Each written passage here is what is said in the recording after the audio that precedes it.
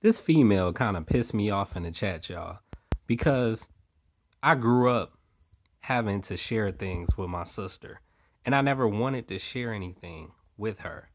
So I got a problem with people acting like everybody in the same boat, everybody in the same situation when that's not the case. So I was pretty much just saying how Metatron put all my uh, positive deeds in the book of life, and then she go say, uh, the Most High has done that for everybody. No, he hasn't. Where the fuck you get that from? That's bullshit. So people who try to talk like they know how God operates, when it's many um, accounts in the Bible of God punishing people. So at the end of the day, don't try to act like my blessings belong to everybody else's or everybody else get the same blessings and gifts as me because that's cap. It's not true. And this chick is a moderator so, you know, it's to make me not go back to that chat because she be pissing me off, but getting away with it because the reader likes her. It's a lot of favoritism that goes on with moderators, and a lot of people don't even know how to moderate good enough to be a moderator. So, I don't like that shit. And it lets me know she not a Scorpio. Before I left the chat, she told me, well, I got uh scorpion placements. Bitch, that don't make you no fucking scorpion.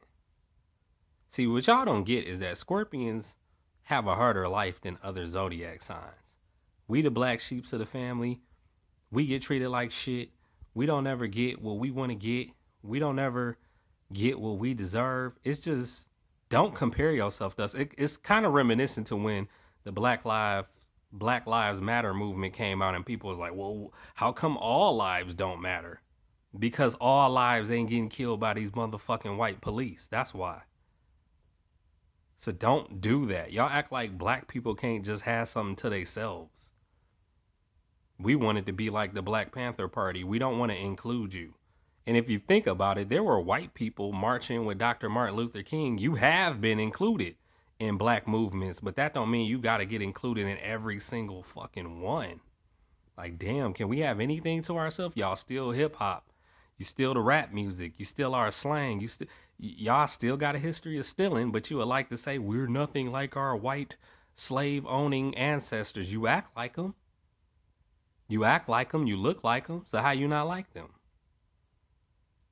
Now this chick, I don't even know if she black or white. It doesn't matter. She just proves she not a Scorpio though. So it's just like, yeah, I want things to myself. Cause even though I'm cool with other scorpions. I still have never met a scorpion in my entire fucking life that acts like me. So it's still a I'm alone thing going on. I was born alone. I'm going to die alone. So that's just what the fuck it is. I don't feel close to uh, other water signs like that. So making statements like that just make it a hundred times worse.